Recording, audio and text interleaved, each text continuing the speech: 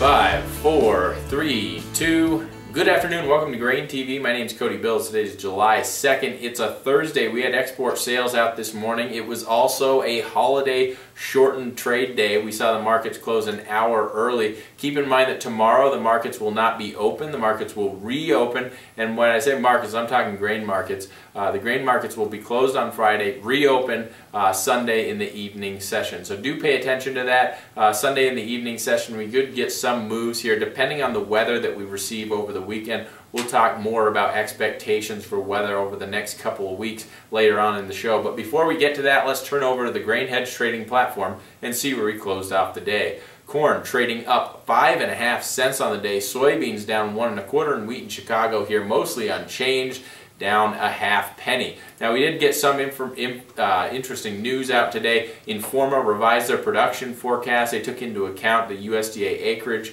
and quarterly grain stocks report.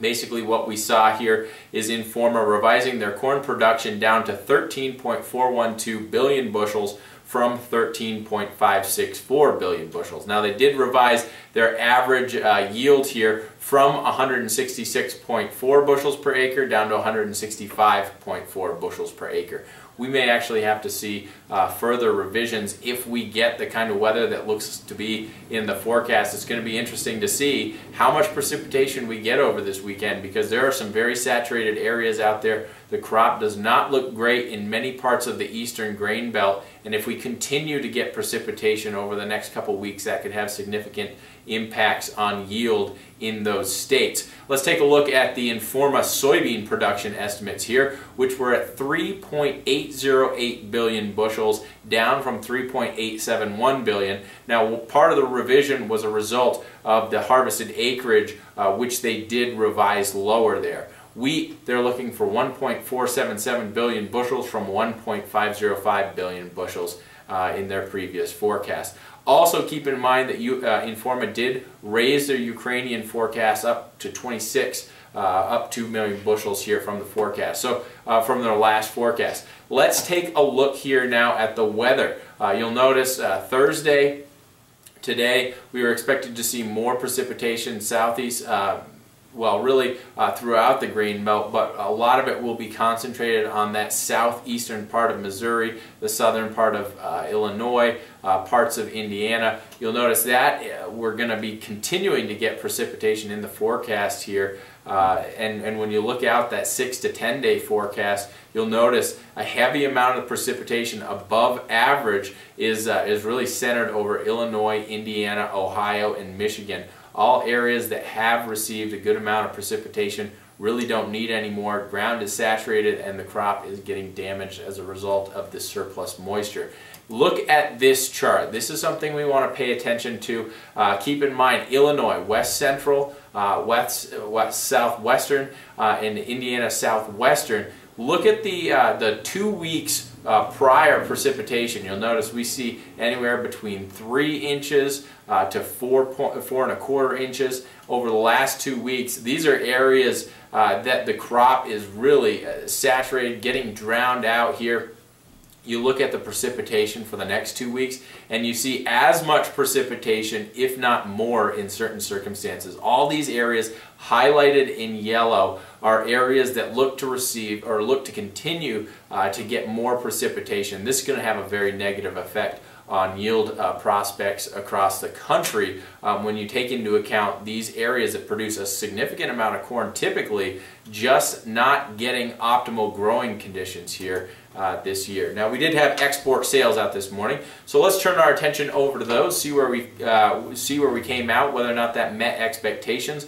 You'll notice corn came out, it was on the high side of analyst expectations. We saw an actual export sales of 594,000 metric tons. Uh, analysts were expecting anywhere between 300,000 to 600,000 metric tons, so this was very positive for corn. For soybeans, not so much. We saw net cancellations this week. You know, we've been looking to see uh, net cancellations for quite some time now. Soybean export sales week after week after week continued to outperform here, causing the USDA to have to increase their, their export sales forecast in their latest WASDE report.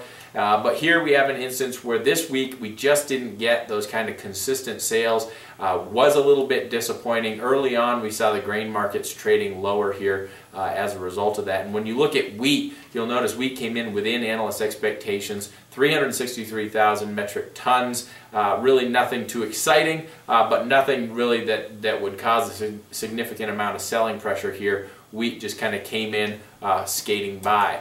Now, when you look at the corn cumulative export commitments, you'll notice that 45.7 million metric tons have been sold uh, at this time of the year. Now, this is behind last year's pace of 47.2 during the same time period, but we are still ahead of the uh, anticipated pace that that pace needed to meet USDA expectations. So corn sales still positive here. Uh, and, and this week's sales, they were good, they weren't outstanding, uh, but they're going to keep us ahead of pace here moving forward.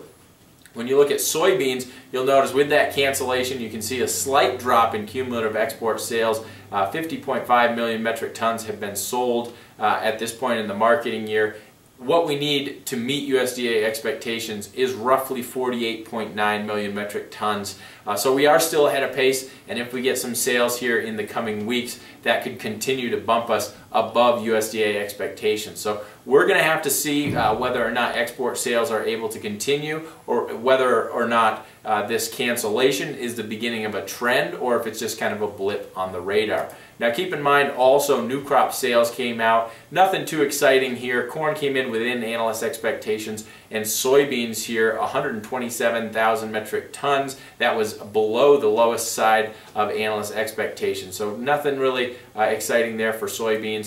Uh, when you look at it, I, this is a weather market at this point. Uh, we're focusing on wet areas, uh, conditions that are absolutely saturated in certain parts of the U.S.